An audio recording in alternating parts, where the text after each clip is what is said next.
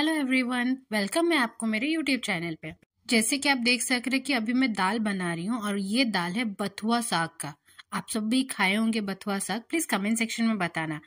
खाना बनाते बनाते बाहर आ गए, बाहर में यहाँ पे दो फैमिली को देख लिया मतलब एक फैमिली वहाँ पे बात कर रहे ह्यूमन वाला फैमिली और यहाँ पर है क्यूट सा डॉगी फैमिली लगता है पापा वाले डॉगी मम्मी वाले डॉगी से गुस्सा है और बच्चे भी देखो डिस्ट्रीब्यूट हो गए।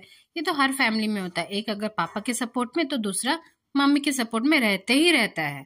इसके बीच मेरा दाल रेडी हो गया था। अभी उसको तड़का लगाना था। तो मैंने ऑयल लिया। ऑयल में पंच फोरन डाल के एक चिली और ऑनियन सारा डाल के उसको फ्राई कर दे, ताकि थोड़ा सा वो गोल्डन ब्राउन कलर होने के बाद जो प्रेशर कुक हुआ था दाल, उसको सारा मैं डाल के मिक्स कर दूँगी। तो एक मतलब अच्छा सा तड़का लग जाएगा। और ये देखिए रेडी हो गया मेरा साग वाला दाल।